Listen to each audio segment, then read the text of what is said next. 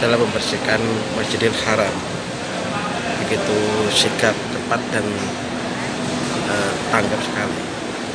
Masjid yang begitu besar di Masjidil Haram harus dibersihkan dengan luar biasa. Ini teknis dalam membersihkan Masjidil Haram. Ini semuanya adalah demi untuk kenyamanan para jamaah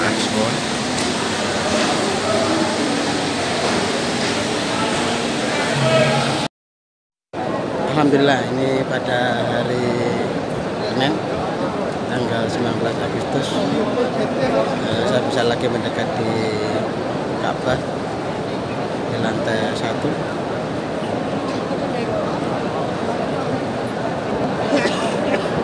Ya. ini adalah Angurce. हमने करना बा और हाथ दे बेर था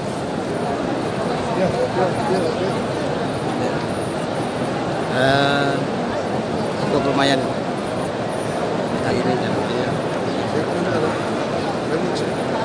Beni beni.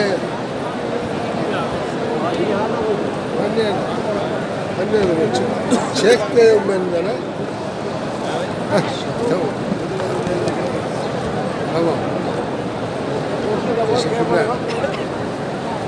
Silme bak silme.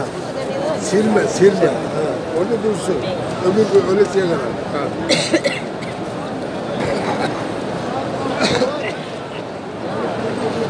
ఆడబోయింది ముష్కెచ్చాయి